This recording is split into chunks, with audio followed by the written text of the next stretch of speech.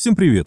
Как-то давненько я делал очень простое меднение стальных деталей и инструмента, и этот способ оказал себя очень хорошо. Поэтому сегодня я решил поделиться этим способом меднения с вами, а также проверить, можно ли этим способом защитить кузов автомобиля от коррозии.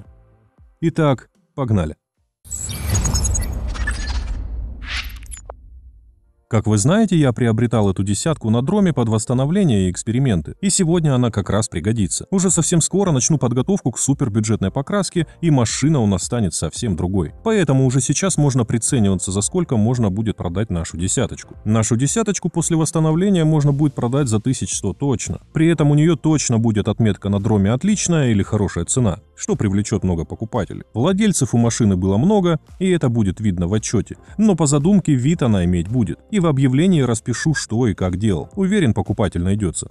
А если вы уже планируете покупку, то за машиной идите на дром. Для приготовления раствора для меднения понадобятся электронные весы, какая-нибудь тара, обязательно резиновые перчатки и очки. Затем отмеряем 450 грамм дистиллированной воды. Кстати, если электронных весов у вас нет, можно воспользоваться мерным стаканом. Берем потом любую бутылку, но не меньше литра. Выливаем туда воду, Покупаем в любом садовом магазине медный купорос за 100 рублей за 100 грамм и высыпаем все эти 100 грамм в бутылку. Закрываем бутылку и тщательно размешиваем до полного растворения купороса. Делать это будет быстрее, конечно же, при плюсовой температуре.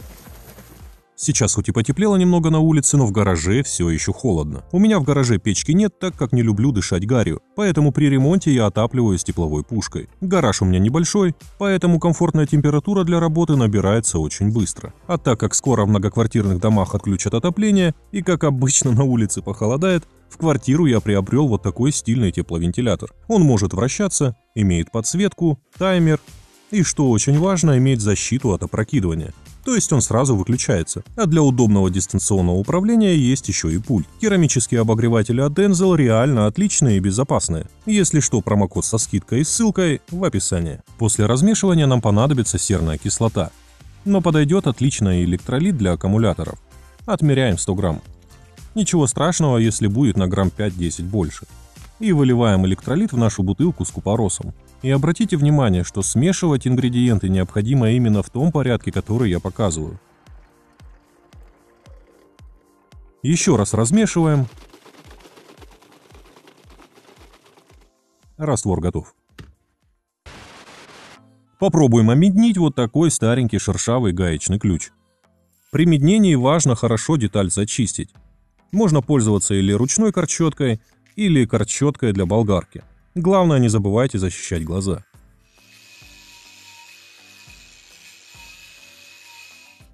Ключ зачищен. Теперь нужно его обезжирить. Обезжиривать можно растворителем, ацетоном, очистителем тормозов, который не оставляет следов и разводов, но лучше всего для обезжиривания деталей использовать щелочь. Обязательно одеваем перчатки и очки и наливаем в тару холодной воды грамм 800, можно из-под крана. Берем 90 грамм сухого средства для чистки труб, понемногу добавляем и размешиваем.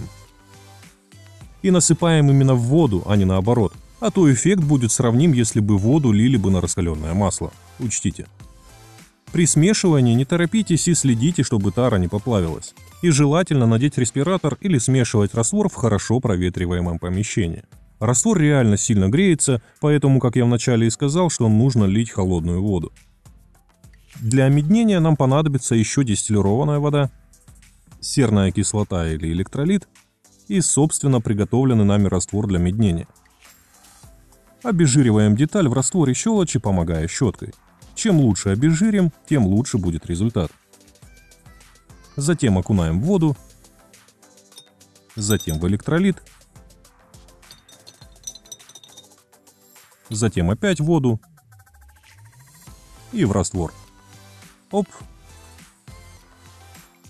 И меднение уже произошло. Но это слишком тонкий слой. Поэтому, если хотите более толстый слой, деталь необходимо еще раз поместить в раствор. При этом перемешивать его, либо вращать деталь.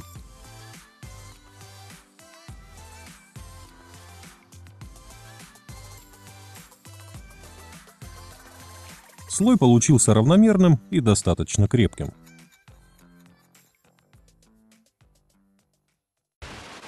Теперь проверим, как медь будет держаться на шлифованной детали. Возьмем медчик. Также хорошо обезжириваем. Промываем в воде. Удаляем все окислы в электролите. И промываем в воде. А затем медним.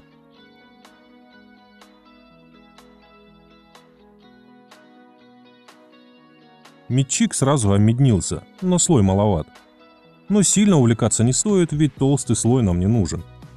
А вообще медчики без покрытий полезно покрывать медью для элементарной защиты от коррозии и для снижения трения, так как коэффициент трения у пары медь-сталь в два раза ниже, чем у пары сталь-сталь. Берите на заметку.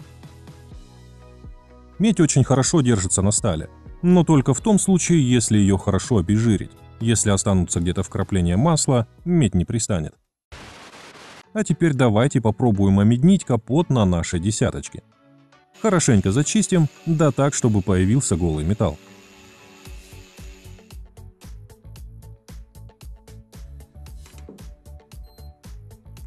Видно, что металл голый. Рядом, соответственно, 12, 11 микрон, 11 микрон, где-то 15 микрон – Посмотрим, какая толщина меди образуется на зачищенном металле. Обезжириваем, сушим и при помощи ватной палочки наносим раствор.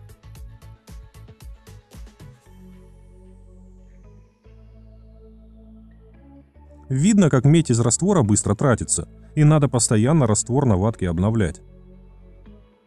Хорошенько высушим, чтобы не омеднить случайно шарик на толщиномере. Такс, 5 микрон, 0, 5, опять 0, 0. В общем, слой неравномерный.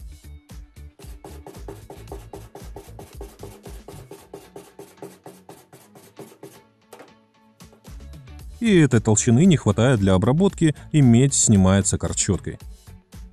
Поэтому, чтобы набрать более-менее нормальную толщину, надо будет нанесение повторить несколько раз. Обезжириваем и повторяем.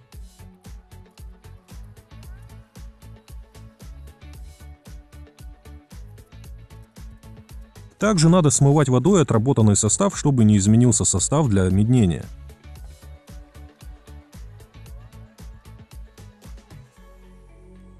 Недостаток такого способа в его неравномерном покрытии – Высушим и проверим, что получилось.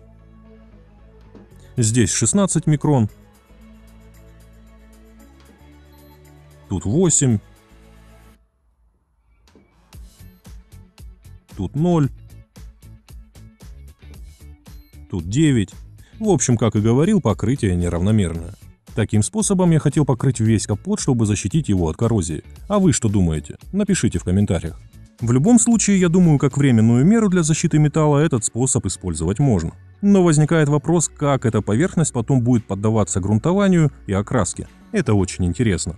В любом случае об этом мы скоро узнаем, когда будем красить нашу десяточку. Так что подписывайтесь на канал и не пропускайте новые выпуски.